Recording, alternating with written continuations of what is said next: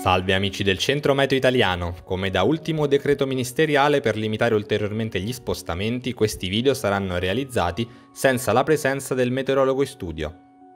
Il prossimo weekend sul comparto mediterraneo potrebbe presentarsi con due volti differenti. Andiamo a vedere la tendenza che ci aspetta per i prossimi giorni anche sul nostro paese. Il fronte freddo che ci sta interessando in queste ore tenderà a muoversi rapidamente verso est, lasciandosi alle spalle una limitata laguna barica.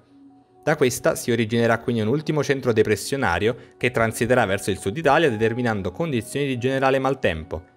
Sarà ben diversa invece la situazione a partire da domenica, quando l'esteso campo di alta pressione inizierà una lunga rimonta su gran parte dell'Europa, e con esso le temperature tenderanno quindi a subire un generale rialzo, specie nei valori massimi, riportandosi in linea con la media stagionale.